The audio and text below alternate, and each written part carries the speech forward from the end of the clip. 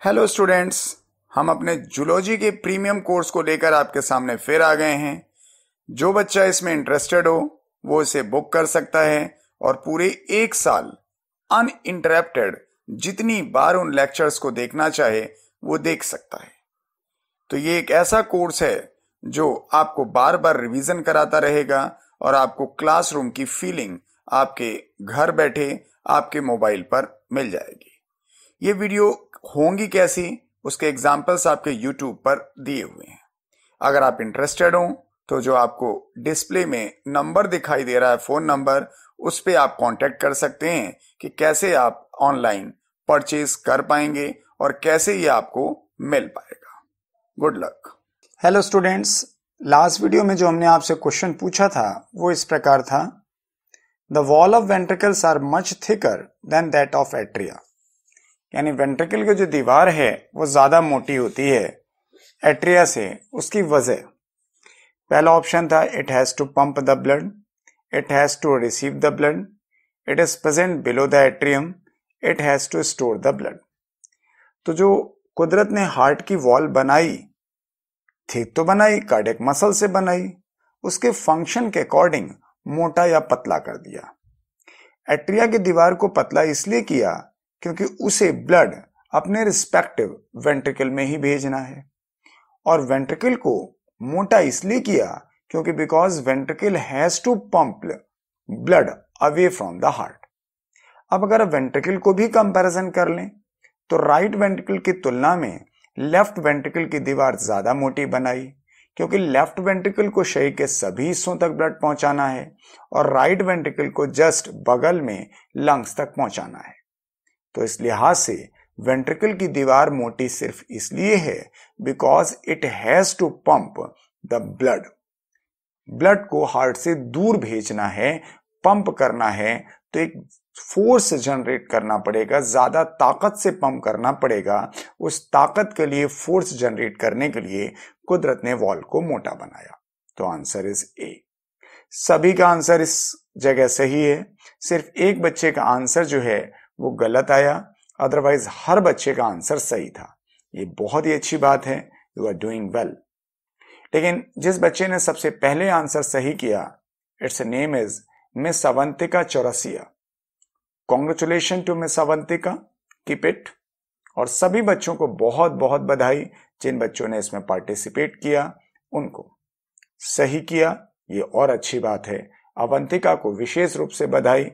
आप यूँ ही मेहनत करती रहें। और अपनी मंजिल पा जाएँगे।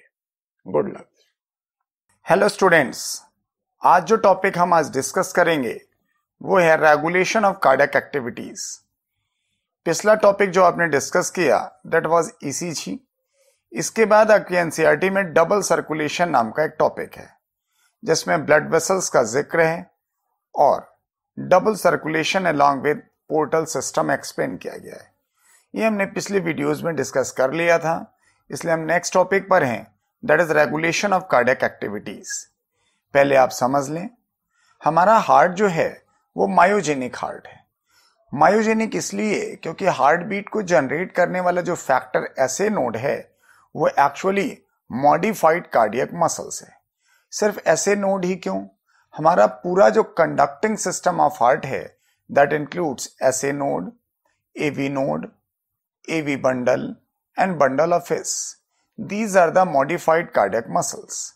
जिसमें ऐसे नोड इम्पल्सेस जनरेट करता था, यानी it has ability to generate action potential at regular interval तो वो चूँकि मसल्स का मॉडिफिकेशन है, इसलिए हम अपने हार्ट को मायोजेनिक कहते हैं हालाँकि सिर्फ़ वर्टिब्रेट का हार्ट मायोजेनिक नहीं है, बल्कि मोलस्का का भी हार्ट मायोजेनिक ही है तो ऐसे नोड इम्पल्सेस एक रेगुलर इंटरवल पर ही जनरेट कर सकता है। उस इंटरवल में जो एक्शन पोटेंशियल जनरेट करने की बात कही जा रही है, वो कम या ज़्यादा इट्सेल्फ नहीं कर सकता।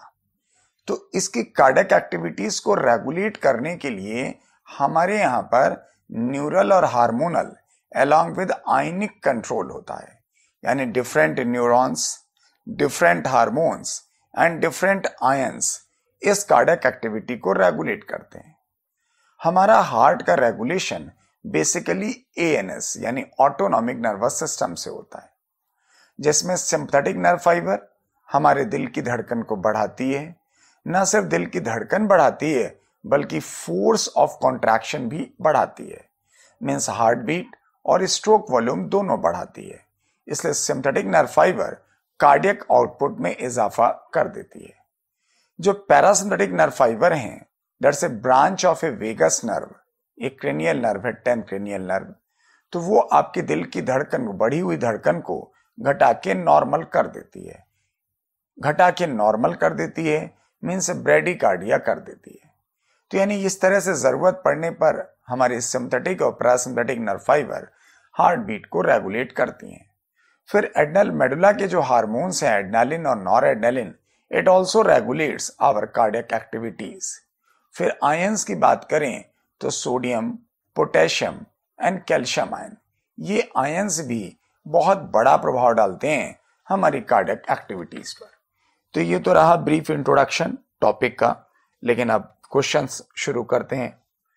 सब पहला सवाल है rate of the heart beat is controlled by यानी हार्ट बीट का रेट कौन कंट्रोल करता है? इनिशिएट तो ऐसे नोट कर देता है। तो रेट कंट्रोल करने के लिए चार ऑप्शन है। उनमें ऑप्शन है ऑटोनॉमिक नर्वस सिस्टम यानी हमारा ए अभी मैंने आपको इंट्रोडक्शन में बताया कि सिंपथेटिक और पैरासिम्पथेटिक नर्व फाइबर हमारे दिल की धड़कन को बढ़ा या घटा सकती हैं as the demand of our body इसलिए आंसर डी होगा। Second question acetylcholine is secreted by तो जो सिंपथेटिक नर्व फाइबर था, उसे हम एडिनर्जिक नर्व फाइबर कहते हैं, क्योंकि अपने टर्मिनल एंड पर वह एडनलिन या नॉर एडनलिन नाम का न्यूरो रिलीज़ करता है। लेकिन जो पैरासिनेटिक नर्व फाइबर होते हैं, उन्हें हम कोलिनर्जिक नर्व फाइबर कहते हैं, क्योंकि अपने टर्मिनल एंड पर वो एस्ट्रल कोलिन नाम का न्यूरो रिलीज़ करता है। इसी वजह से सिंपथेटिक टैकिकार्डिया कॉज करता है और पैरासिम्पथेटिक ब्रेडिकार्डिया कॉज करता है। हमारा आंसर आ चुका है। पूछा गया था acetylcholine is secreted by तो आंसर है पैरासिम्पथेटिक न्यूरॉन्स या नर्व फाइबर, यानी कि C. Next question number three है। Heart beat of human is controlled by यानी दिल की धड़कन को कौन कंट्रोल करता है? मैंने अभी कहा, A N S, adrenal medulla का हार्मोन और डिफरेंट आयंस यानी सोडियम, पोटेशियम और कैल्शियम। ये तीन लोग हार्ट बीट को ज़रूरत पड़ने पर कम या ज़्यादा कर पाते हैं। तो इस लिहाज से आंसर डी होना चाहिए, क्योंकि A is the synthetic and parasympathetic nerve fibre जो ए का पार्ट है। B is the medullary hormone यानी एडनल मेडुला का हार्मोन है। Hypothalamus that is part of the brain is not involve in the regulation of heart beat इसलिए answer D होगा। Next question number four since it is sino atrial node which initiates the impulses the heart of mammal is called क्यों हमारा sino auricular node यानी S A node जो right atria में upper right corner पर पाया जाता है तो यही हार्ट बीट को जनरेट करता है। आपको पता होना चाहिए जो ऐसे नोड है एक प्रकार का नोडल टिश्यू है and that is the modified cardiac muscle यानी कुल मिलाकर के ऐसे नोड, एक मसल है कार्डियक मसल है तो वही इंपल्सेस जनरेट करती है, इसलिए हम इन जनरल मायोजेनिक शब्द का इस्तेमाल करते हैं, क्योंकि न्यूरोजेनिक में एक नर्व गैंग्लिया जो हार्ट के जस्ट बाहर पाई जाती है, वो हार्ट बीट को और इनिशिएट करती है तो हमारा हार्ट मायोजेनिक है। सिर्फ़ हमारा ही नहीं वर्टिब्रेट्स के अलावा मोलस का। जो आपके इनवर्टिब्रेट्स में आर्थोपॉड और एनालीड हैं, उनका हार्ट न्यूरोजेनिक होता है। उस लिहाज से आंसर डी होना चाहिए। Next question number five resting heart is under control of cranial nerve resting heart मतलब your body is in resting position तो हमारे शरीर में जब रेस्टिंग कंडीशन आती है तो our body is under control of parasympathetic nerve fibre जब इमरजेंसी कंडीशन आती है एक्साइटमेंट आता है, यानी नॉर्मल से इतर अलग आता है तो सिंथेटिक नर्व फाइबर एक्टिवेट होता है। तो हमारी जो पैरासिम्पथेटिक नर्व फाइबर होती हैं, वही रेस्टिंग कंडीशन में हार्ट बीट को कंट्रोल करके रखती हैं, यानी इजाफा नहीं होने देती हैं। अब आपको पता होना चाहिए कि जो पैरासमेटिक की ऑरिजिन है वो क्रेनियोसेक्ट्रल कहलाती है। क्यों कहलाती है? क्योंकि जितनी भी हमारी पैरासिमेटिक नर्व फाइबर हैं तो वो cranial nerve three seven nine and ten ये चार क्रेनियल नर्व्स हैं, चार पेयर इन्हीं से राइज होती हैं। सेक्रल में S two S three S four यानी इसीलिए हम कहते हैं क्रेनियो सेक्रल जबकि सिंपथेटिक की बात करेंगे तो उसकी ऑरिजिन थोरैको लंबर होती है। तो जो टेंथ क्रिनियल नर्व है वेगस, उसी की एक ब्रांच हार्ट तक जाती है और वही पैरासिनेरिक नर्व फाइबर बनाती है। इस तरह से कोरिलेट करेंगे you will get you the vagus nerve इसलिए जनरली कहते हैं resting heart is under control of vagus nerve correlate करना सीखिए। मैं हर वीडियो में आपसे कहता हूँ कि सर कोई चीज़ जादू नहीं होती। सीखना एक हैबिट डालिए। धीरे धीरे चीज़ें आप सीख जाएँगे। और सीख जाएँगे तो मंजिल कब आपके करीब आ जाएगी, आपको पता नहीं चलेगा। और सिर्फ़ मंजिल की तरफ़ मुँह करके खड़े रहेंगे तो चीज़ें बिगड़ जाएँगी, मंजिल अपनी जगह रहेगी, आप उतना ही दूर नज़र आएँगे। नेक्स्ट क्वेश्चन नंबर सिक्स है। Hypothermia affects heart beat by hypothermia means आपके शरीर का तापमान कम हो रहा है। तो सर, हमारा बॉडी टेम्परेचर जो होता है, जब कम होता है तो हमारी मेटाबॉलिक एक्टिविटीज़ घटती हैं। और बॉडी टेम्परेचर बढ़ता है तो वो मेटाबॉलिक एक्टिविटीज़ बढ़ती हैं। क्योंकि हमारा जो बॉडी टेम्परेचर है it's a reflection of our metabolic rate तो कहा जा रहा है कि हमारे यहाँ हाइपोथर्मिया हुआ, यानी बॉडी टेम्परेचर कम हुआ मीन्स मेटाबॉलिक रेट कम हुई। तो ज़ाहिर है that heart beat should decrease क्योंकि जब मेटाबॉलिक एक्टिविटीज़ कम हो गई तो बॉडी सेल्स की डिमांड कम हो गई। ब्लड और न्यूट्रिशन कम चाहिए तो कार्डियक आउटपुट कम करना होगा तो इस वजह से हार्ट बीट घट जाती है।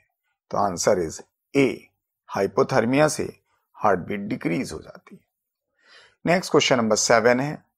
इंक्रीज सोडियम कॉजेस मैंने अभी ब्रीफ इंट्रोडक्शन में आपसे कहा था सोडियम पोटेशियम और कैल्शियम ये तीन आयन्स हैं जिनका इम्पैक्ट हमारे हार्ट एक्टिविटीज़ पर पड़ता है।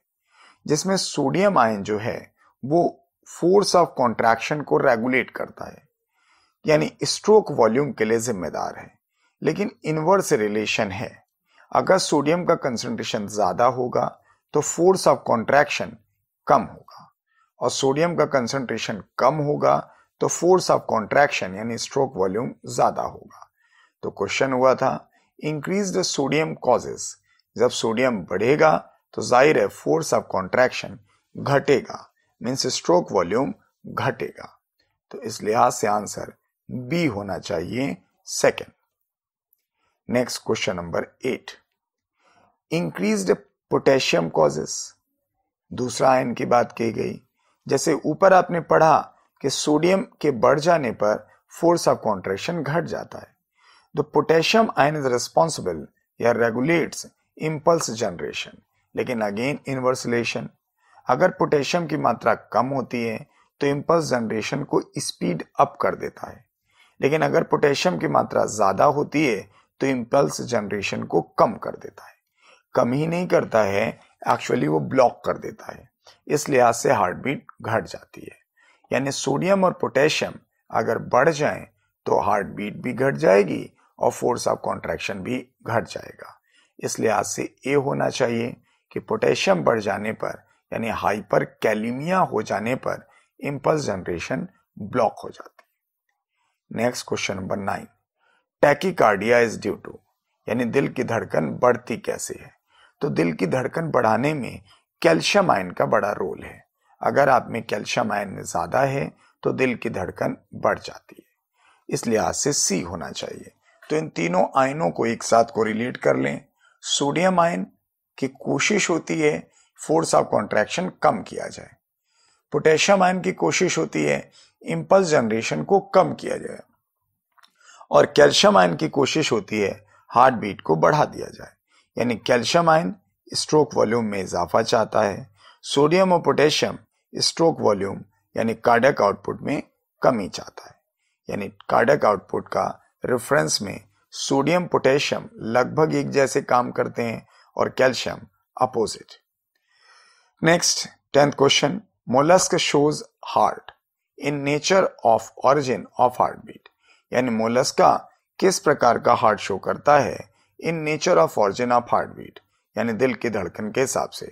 Again the vertebrates and mollusc shows the myogenic heart इसी वजह से आंसर ए होना चाहिए। मोलस्का का हार्ट मायोजेनिक है। इस जगह पर जब भी आप पढ़ें तो एक बार ज़रूर ध्यान रखें, जब आप सर्कुलेशन पढ़ते हैं ओपन टाइप और क्लोज टाइप तो जो ओपन टाइप सर्कुलेशन है, उस जगह पर जहाँ कैपरीज नहीं पाई जाती हैं तो इसके दो इंपॉर्टेंट एग्ज़ाम्पल हैं आर्थोपोडा और मोलस्का, और क्लोज टाइप के एग्ज़ाम्पल एनलीडा और वर्टिब्रेट, यानी कॉर्डेट्स। लेकिन यही आप मायोजेनिक और न्यूरोजेनिक में आते हैं तो यहाँ पर वर्टिब्रेट के साथ मोलस्का आ जाता है। और आर्थोपोडा के साथ एनलीडा चला जाता है। तो उन दोनों को कोरिलेट करके रखिएगा, क्योंकि दोनों के एग्ज़ाम्पल थोड़े थोड़े मैच करते हैं, इसी वजह से कंफ्यूजन हो जाता है। तो ये हमारे टेन क्वेश्चन रहे। टॉपिक बहुत छोटा था। फिर भी मैंने आइनिक रेगुलेशन दे करके इसमें आपके कुछ क्वेश्चंस में इजाफा कर दिया। तो मैंने दस सवाल कराए रेगुलेशन ऑफ़ कार्डियक एक्टिविटीज़ के। फिर मैं आपको डिसऑर्डर्स पढ़ाऊँगा, उसके क्वेश्चंस कराऊँगा। मेरा क्वेश्चन कराने का एक ही प्रयोजन है कि क्वेश्चन तो एक बहाना है, हमें टॉपिक रिवीजन कराना है। हमारा पर्पस सिर्फ़ यही है, आप अगर उस पर्पस के साथ चल रहे हैं देन हम मकसद में कामयाब होंगे। अगर आप उस पर्पस के साथ नहीं चल रहे हैं शॉर्टकट ढूंढ रहे हैं तो शायद हम आपके साथ नहीं चल पा रहे हैं। इट्स ओके हेलो स्टूडेंट्स इस वीडियो में क्वेश्चन द डे इस प्रकार है। The correct route through which pulse making impulse travel in the heart is यानी सही रूट बताना है, जहाँ से पल्स मेकिंग जो इम्पल्सेस है, वो हार्ट में ट्रेवल होती हैं। फ़र्स्ट ऑप्शन है, ऐसे नोड से Purkinje fibre to bundle of His to AV node to heart muscle second option है, SA node AV node bundle of His Purkinje fibre and heart muscles third option है AV node bundle of His SA node Purkinje fibre and heart muscles और fourth option है AV node SA node Purkinje fibre bundle of His and heart muscles तो conducting system of heart का आपको अंदाज़ा है। उसी conducting system of heart से hint लेकर आप ये क्वेश्चन सॉल्व करिए कि इम्पल्सिस में एक्शन पोटेंशियल कहाँ जनरेट होता है और किस सीक्वेंस में हार्ट में ट्रेवल होता है। मैं आपके आंसर का इंतज़ार कमेंट बॉक्स में करूँगा। Good luck.